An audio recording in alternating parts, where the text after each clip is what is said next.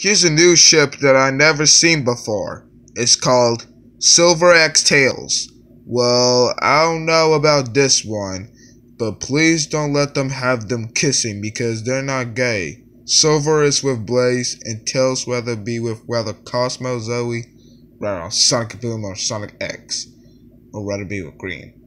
So, even though I, I, it, this picture does look kind of cute, and besides, they look cute both wearing this smiley face. Silver wears a purple skirt, a purple sweater, and Tails wearing a green sweater. They both look cute together in this picture.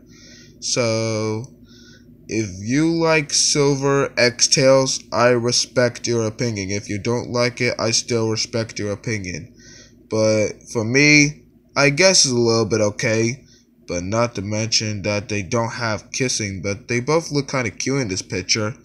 So I guess I give a like on Silver X Tails.